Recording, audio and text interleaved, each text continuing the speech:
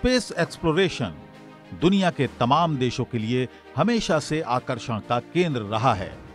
रहस्यों से भरपूर अंतरिक्ष को जानने और समझने के लिए एस्ट्रोनॉट्स अक्सर स्पेस मिशन पर जाते हैं। अंतरिक्ष के ये सफ़र दो, तीन, चार या छह महीने के भी हो सकते हैं। ऐसे में आपके जहन में यह सवाल ज़रूर आया होगा कि आखिरकार अंतरिक्ष में जाने वाले एस्ट्रोनॉट्स कहाँ रहते होंगे। क्या खाते पीते होंगे? कैसे सांस लेते होंगे? कैसे अपनी ज़िंदगी की जरूरतों को पूरा करते होंगे?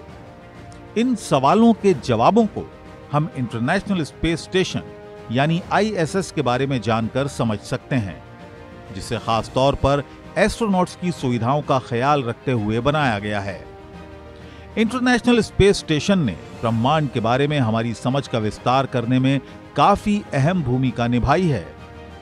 ऐसे में कुछ और सवालों के जवाब समझना बेहद ज़रूरी है कि आखिरकार इंटरनेशनल स्पेस स्टेशन क्या होता है? इंटरनेशनल स्पेस स्टेशन को कैसे बनाया गया? इंटरनेशनल स्पेस स्टेशन का उद्देश्य क्या है? और इंटरनेशनल स्पेस स्टेशन में एस्ट्रोनॉट्स कैसे रहते हैं? इन तमाम सवालों के जवाब समझते हैं समझिए डॉट कॉम के इस एपिसोड में। इंटरनेशनल स्पेस स्टेशन, यानी आईएसएस अंतरिक्ष में रहने के लिए एक आर्टिफिशियल सैटेलाइट की तरह है, जो हज़ारों मील प्रति घंटे की रफ्तार से धरती का चक्कर काट रहा है आईएसएस को बनाने के लिए साल उन्नीस सौ अट्ठानवे में दुनिया की कई स्पेस एजेंसियाँ एक साथ आईं। अमेरिका की स्पेस एजेंसी नासा की अगुवाई में यह मिशन शुरू हुआ रूस के एक रॉकेट की मदद से इस स्टेशन के पहले हिस्से को अंतरिक्ष में भेजा गया। फिर धीरे धीरे इसके अलग अलग हिस्सों को भी स्पेस में भेजा गया। इन हिस्सों को जोड़ जोड़कर अंतरिक्ष में ही इंटरनेशनल स्पेस स्टेशन बनाया गया। उन्नीस सौ अट्ठानवे में पहले लॉन्च के बाद अगले दो साल में इस स्टेशन को बनाने का काम पूरा हो गया और 2 नवंबर सन 2000 को पहली बार यहाँ अंतरिक्ष वैज्ञानिक भी पहुँचे। इंटरनेशनल स्पेस स्टेशन को पृथ्वी की निचली कक्षा यानी लो अर्थ ऑर्बिट में स्थापित किया गया है। ये पृथ्वी से लगभग 400 किलोमीटर की ऊंचाई पर स्थित है और तकरीबन 27,800 किलोमीटर प्रति घंटे की रफ्तार से धरती की परिक्रमा करता है। यानी स्पेस स्टेशन प्रत्येक 90 मिनट में धरती का एक चक्कर लगाता है। इंटरनेशनल स्पेस स्टेशन धरती को एनालाइज करने के साथ ही स्पेस में रिसर्च करने के लिए काफ़ी मददगार है।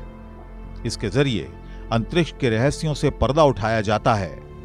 मसलन अंतरिक्ष में रहने पर हमारे शरीर में क्या असर पड़ेगा?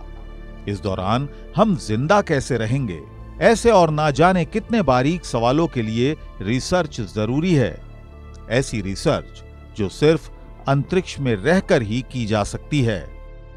ये ऐसा कहीं की स्टेशन है, ये कहीं की एक तरह की लैब है जिसमें अभी तक 2000 3000 से ज़्यादा एक्सपेरिमेंट्स जो हैं फिजिक्स को लेके बायोलॉजी को लेके बायोटेक्नोलॉजी को लेके एस्ट्रोनॉमी को लेके अभी तक किए जा चुके हैं और कम से कम 270 से ज़्यादा एस्ट्रोनॉट 19 देशों के यहाँ पर जा चुके हैं और आ चुके हैं। यानी कि ये एक स्पेस में एक एक एक तरह की लैब है जो जो, जिसको कि इस तरीके से रशिया ने डिज़ाइन किया था कि जिसमें कि जो हमारे एस्ट्रोनॉट हैं, वो वहाँ रह सकें।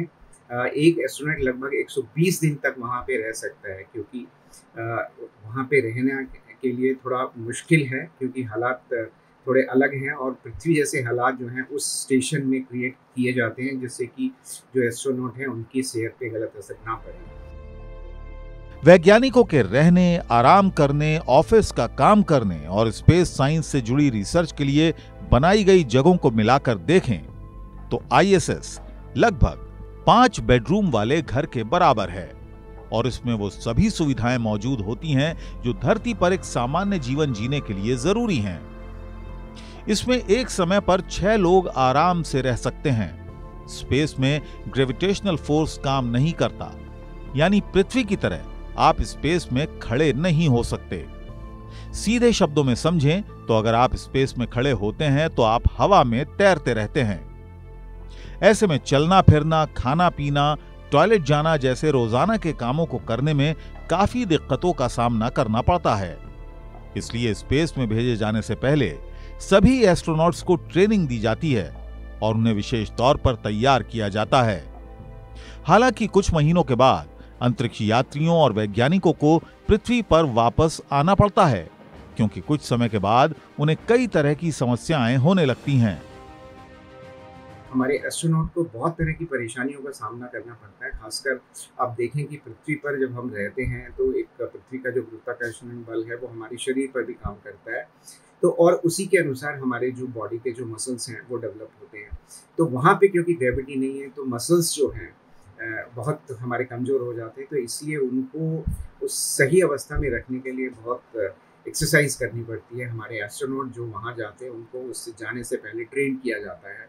और दूसरा ये कि जैसे मैंने कहा कि वहाँ पे माइक्रो ग्रेविटी है तो बॉडी हमारी बॉडी का जो फ्लूड है, जो तरल पदार्थ है, वो ऊपर, जो है, जाने की कोशिश करता है। और उसके अनुसार क्या होता है कि हमारे आँखों में और मस्तिष्क में जो है, एक तरीके का प्रेशर जो है, वो पड़ता है, जो कि हमारे आँखों की, आँखों में देखने में दिक्कत हो सकती है या ब्रेन में जैसे कहें कि डेलूजन उस तरह की अवस्था तो उसके लिए भी बहुत ही स्ट्रेनस एक्सरसाइज जो है हमारे एस्ट्रोनॉट को करनी पड़ती है।